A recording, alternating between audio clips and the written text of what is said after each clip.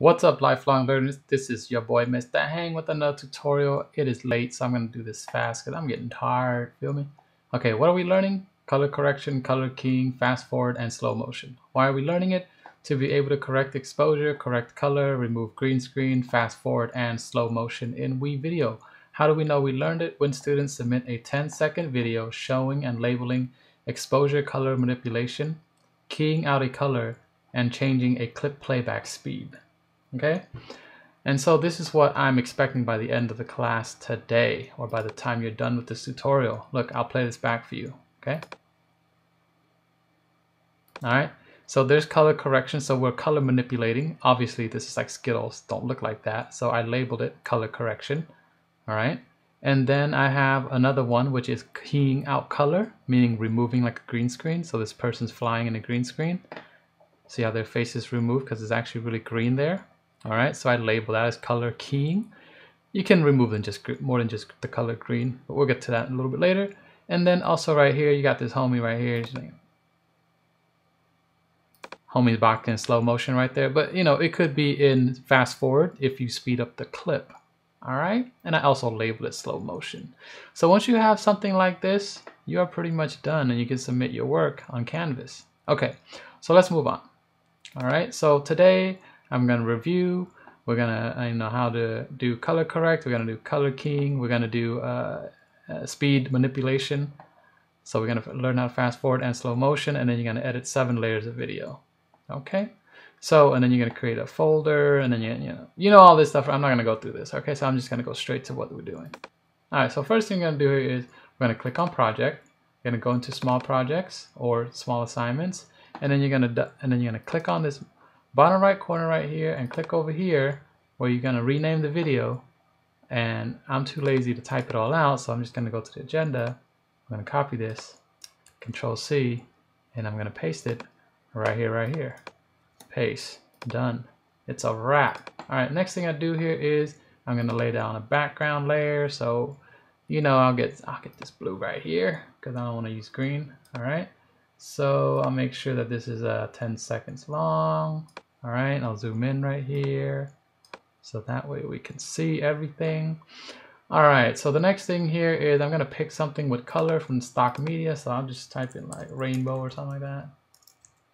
Oh, colors. All right, I'll just type in colors. So that way I get like stuff with like a lot of different colors here. Okay, so let's just pick this rainbow color right here, drag and drop it right there.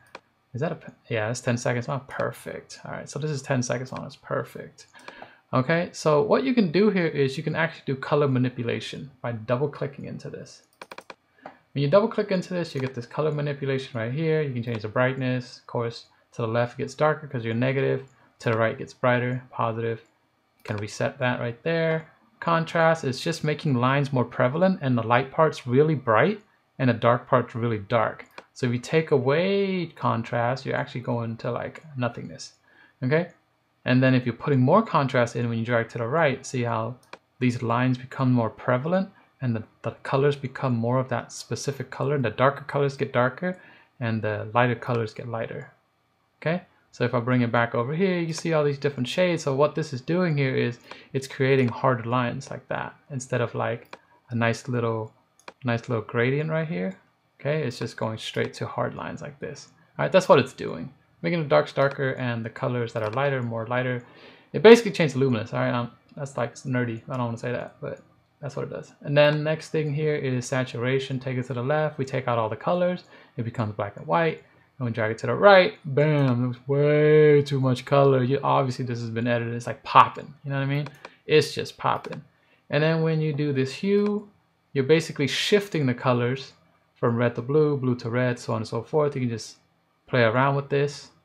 Okay, so you're basically shifting the colors of the rainbow with to other colors of the rainbow. okay, and then when you do temperature right here, you drag it to the left, it becomes more becomes more bluish. Right, notice how the blue gets more blue and the the the the red gets less red and more towards the bluish. Okay, and then when you go towards the right, it, everything gets more orangey See how the reds gets more orangey and the blue gets less blue? See? Okay. Now to demonstrate this, I should have picked something with like a, the color white. If you pick something with the color white, you will see a difference when you shift to the left. You see the white turn blue, and you shift to the right, whatever is white turns more like um, orangey. Okay, so that's tungsten, cool and uh, warm. And then we have tint. Tint turns the green things more green. It just turns more green. All right. See how the yellows kind of shift to green? Okay, see these yellows? They shift to green when you go to the left. And when you go to the right, it shifts towards magenta.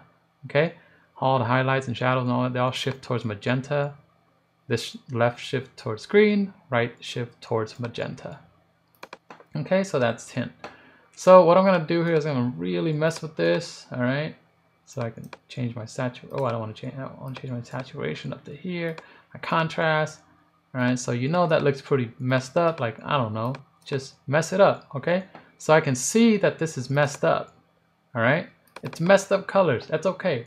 It's really used to correct colors and make things lighter and brighter. But I'm not trying to correct right now. I just want to. Obviously, you have gone around and messed with this slider and I'm going to change the size of the video here. And then I'm going to put it off to the left, bottom right, or wherever you want to put this. Okay. Click save. And then I'm going to go to my text layer.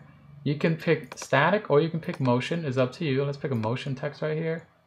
All right. Oh, I ran out of video layers. Got to add another video layer. Bam, right there. And then I'm going to put, um, let's do this one, whip, whisper. Okay. I'll drag this over here. Make it about 10 seconds. Double click into it. I'm going to change the text here. Whisper in. I'm going to put um, uh, color correction.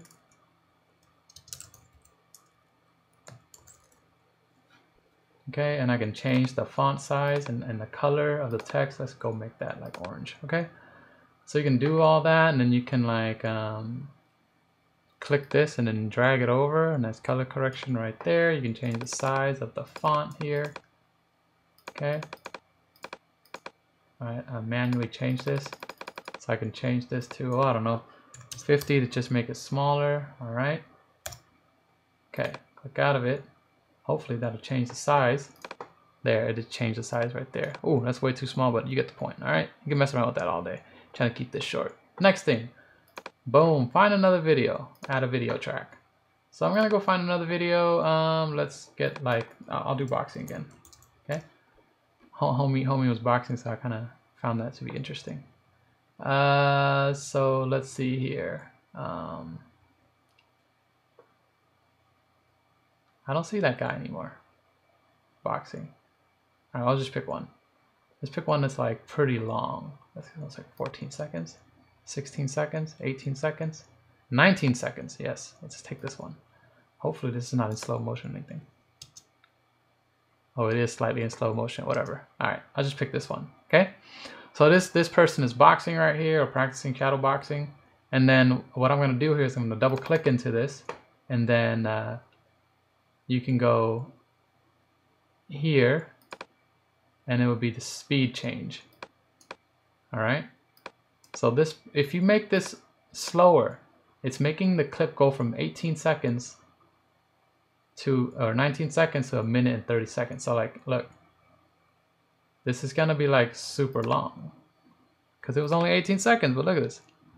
Let me zoom out. Look at this, this is like a minute long now because you've extended it and you put it into slow motion. See how she's even more slow motion right here? Okay, I double click into that and I go back and I let's say double the speed or whatever, the clip is going to be shorter, just four times the speed. So this person's to be going super fast, but you can't, you kind of make this shorter, but you can't like drag it any farther because this is how long the clip is. You can't drag the ends, okay? When you make the clip shorter. So I can't make this long enough to reach 10 seconds. But look at, when I play this back, this person, you know, doing stuff super fast. So I want to fit 10 seconds, so I'm going to actually slow it down some more to like, I don't know, negative 3. Alright, so that right there should be long enough. And I would drag this down to 10 seconds right here. And then I'll drag this back in so that way I can fit my 10 seconds of video. And you can see now she's in slow motion. More slow motion than before. Okay, so what I'm going to do next is I'm going to make double click into this and I'm going to make this smaller so that way you know Mr. Heng can see what you're doing. So this one right here, I'll just uh, save that. add another video layer. I'll do another audio, another text, and then I'll do a static text this time. So this one right here, put it on top, double click into this, and then I'm gonna type in uh, slow motion or slow-mo. Okay, so if you did fast fast uh, fast motion, do fast forward. Right, type in fast forward. So I'll change the size of this, make it a little bit smaller, and I'll change the color to like yellow, and I'll change this to like I don't know blue or something. Okay, and then uh, I can uh, reposition this, put it right here. All right, so now this one's in slow. I labeled mine slow-mo. Okay, so I got this color correction movement. I got the slow-mo right here. So I can see like you've manipulated the color and you've made this, manipulated the speed. The last thing you're gonna do is you are going to add another video layer. Okay, and then I'm gonna look for green screen. All right, so here is a green screen stuff. I'll just pick whatever. Okay, so I'll pick uh, I'll pick this thumbs up right here. Actually, I won't pick a thumbs up. Um, is there any other ones that like more color? Well, I guess I'll, I'll pick the same person flying right here. Actually, I'll pick this dude. All right, I'll just pick this dude right here. Okay, so I'm gonna make this 10 seconds. I'll double click into it. When you go into this this tab right here, it says color key. You click on color, you click on this uh, eyedropper tool, okay, and then you go to your green screen. Let me click it again. You go to your green screen, you click that, you remove the green screen. I only got this homie left right now. But if you click on this and then you go to his shirt, let's say I want to remove the color white, the green screen will come back. Anything that is close to the color white is going to be removed. See, look at that. He got removed. Okay. And if I move this, you can see down to the boxing person right there. Okay. Because I'm removing anything that is close to the color white.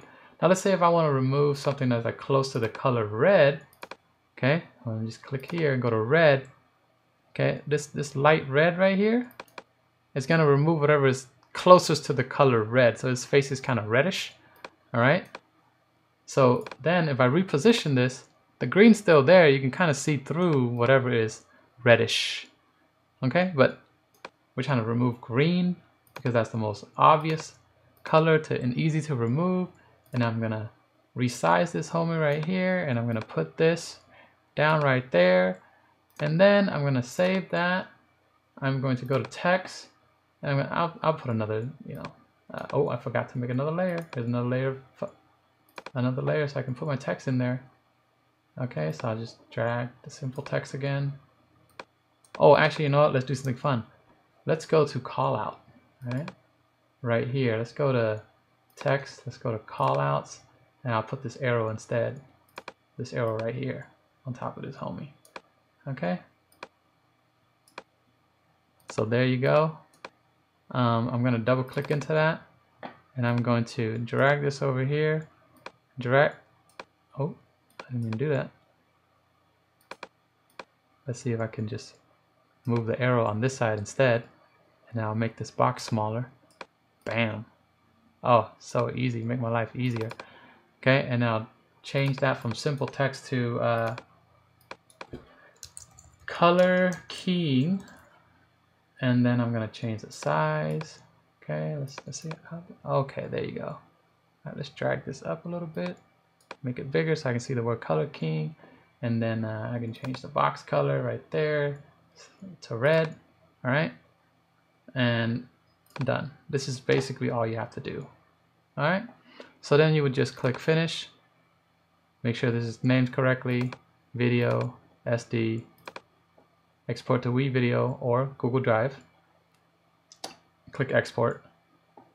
Once you're done exporting, make sure you take a screenshot. Double click into the finished export, download this, drag it in, drop it into your folder. Okay? So here is your,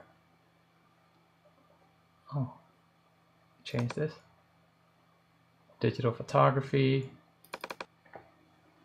Unit 3. It is called color correcting, color keying, and changing speed. You should have made this folder.